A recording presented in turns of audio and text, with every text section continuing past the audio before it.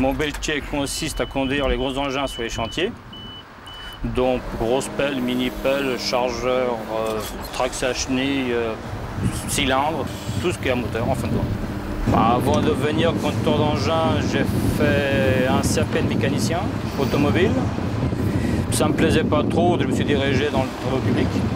Oh, tu m'as rien dit. J'ai commencé en travaux public comme euh, manœuvre, au bas de l'échelle. Et puis, il faudra les années, des petites formations de, la société, on a réussi à monter compteur d'engin. Il y a 10 catégories de permis, bah, du, plus petit à la plus grosse. Ce qui veut dire celui-là, c'est le permis 4. Enfin, la licence 4. Pendant que le camion est parti faire une course, j'ai continué mon travail, mon terrassement. J'ai fait un tas de terre et qu'on le déplace pour mettre en stock. Je vais changer mon godet. Je vais mettre un godet de terrassement de 1m50 de large. La fonction de travail que je vais effectuer, ce n'est plus la même. Là, je finis d'enterrer un tas, mais après, on va faire le terrassement. Donc, il faut quelque chose avec des dents.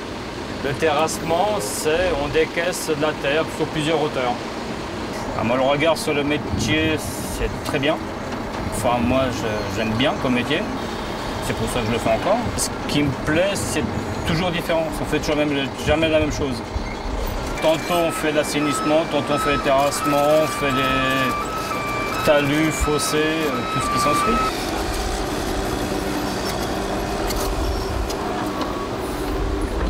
Les avantages qu'on a en coton d'engin, d'arriver à ce stade-là, c'est qu'en hiver, vous avez le chauffage. En été, vous avez la clim. Donc, dans l'ensemble, ce n'est pas trop mal. Il faut être calme. Calme. Il ne faut pas être un gros nerveux, c'est pas la peine. Être précis, précis. Tout ce qui est muret de soutènement de terrain, c'est pareil, être précis. C'est tout, doux, il faut aller tout doucement. Tout doucement, parce qu'il y a quand même des gars qui sont autour. Et un faux mouvement va très vite.